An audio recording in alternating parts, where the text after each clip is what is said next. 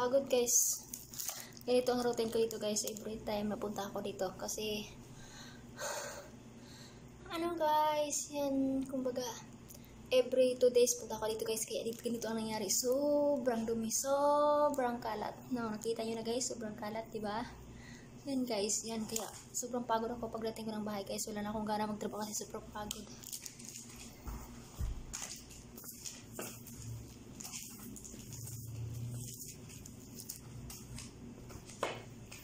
Ngayon guys, kuha ko ng dito. Lagyan ko yan ng dito dyan. Dito para matanggal yung mga yung mga ano guys, yung mga amigas na maitim. Kasi yun ang nireklamo niya. Kaya actually guys, everyday na po balik ako dito. Yan mga ginagawa ko guys. Gina, ginamove ko ito. Mga ito. Para mga ito. Para na guys, baka nagating na siya.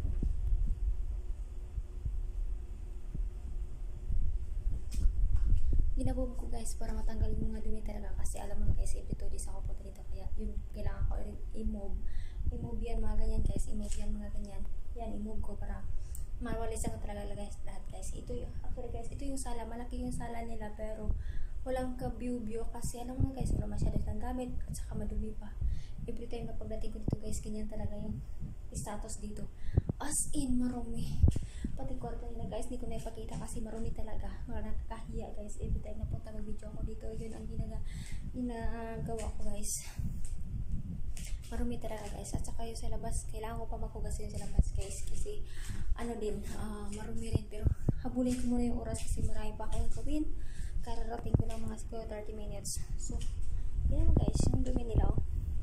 ito ang dumi nila guys in, in a day lang na ako. Yan. Kita nyo naman guys yan ang kalat yan yung kalat guys oh, oh.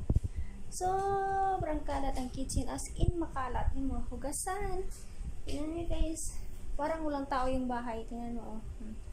yan nakita mo pati sa guys sobrang makalat oh sobrang kalat na sa yan.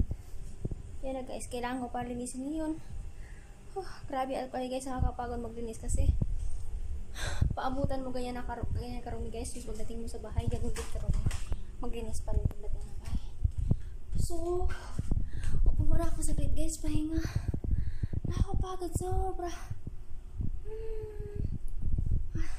Sige guys, i-off ko na ang video guys kasi gusto ko madala yung trabaho. Gusto ko matapos guys habang wala pa sila kasi saglit lang siguro sila sa labas guys pagdating uh, siguro 30 minutes babalik babalik na yan sila dito kaya habulin ko guys matapos na yan makapunas na ako malagyan ko ng detail para matapos na.